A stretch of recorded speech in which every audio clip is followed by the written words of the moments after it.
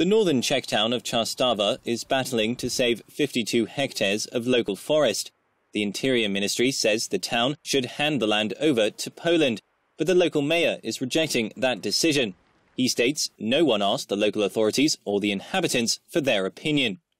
2. prosince jsme dostali dopis z ministerstva. We're against the idea of passing the land to Poland because of three reasons. First, this terrain is important to us. Second, historically, it has always been part of the Czech Republic. And third, based on old but still valid agreements, we came to the conclusion that the Czech Republic does not owe any land to Poland. That means the border should not be changed in any way. The dispute dates back more than 100 years. An agreement in 1958 was supposed to have settled the issue. One Polish historian elaborates on the irony of the argument. It started when the two countries gained independence in 1918, and it appeared that both capitals, Prague and Warsaw, wished for the same territories. We had a few military conflicts. We argued during the whole interwar period and later after World War II.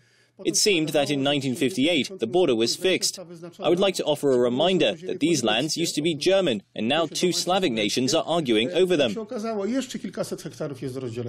Chrastava's mayor says he's uncovered documents which prove the forest does not need to be given to Poland. He has sent them to the Prime Minister and President. He's confident the land will stay on his side of the border. When the Czech Polish Border Commission gathers, I will be very happy if they analyze all the old documents determining that the Czech Republic is not indebted to Poland. If it does not happen and the Commission decides that this land should be returned, the decision would have to be approved by our parliament, and they would never do that. Chrastava residents say a Polish open cast mine nearby is another reason to hold on to the disputed territory. They fear the mine could expand into their town if they lose control of the forest.